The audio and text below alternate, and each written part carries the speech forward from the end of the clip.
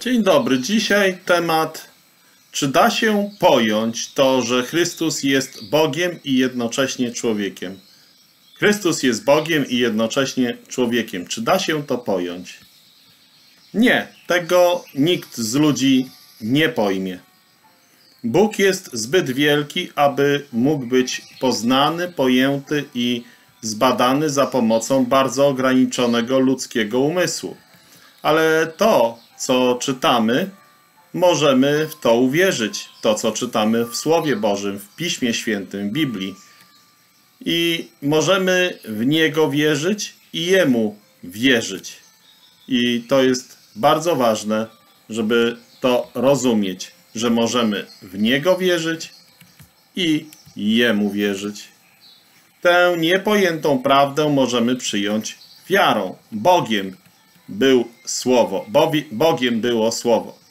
I Ewangelia Jana, pierwszy rozdział, pierwszy werset.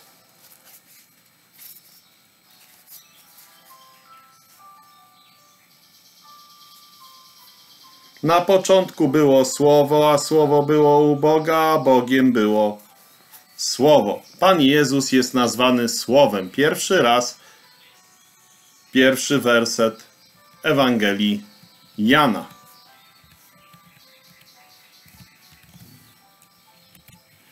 A Słowo stało się ciałem.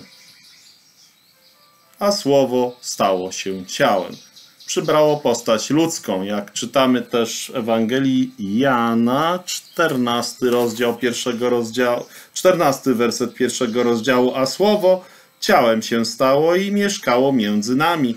I widzieliśmy chwałę Jego, chwałę jako jednorodzonego od Ojca, pełne łaski i prawdy.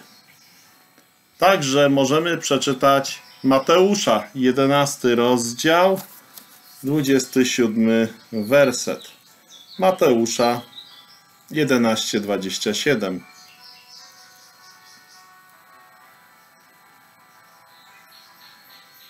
Wszystko dane mi jest od Ojca mego i nikt nie zna Syna, tylko Ojciec i nikt nie zna Ojca, tylko Syn i ten, komu Syn objawić zechce. Czyli widzimy wyraźnie, nikt nie zna Syna, tylko jak tylko Ojciec. Więc jest to bardzo ważne, aby rozumieć, że Chrystus jest Bogiem i jednocześnie człowiekiem, Chrystus jest człowiekiem i jednocześnie Bogiem. I na pytanie, Chrystus jest Bogiem i jednocześnie człowiekiem, czy da się to pojąć? Odpowiedź jest oczywiście, nie da się tego pojąć ludzkim umysłem.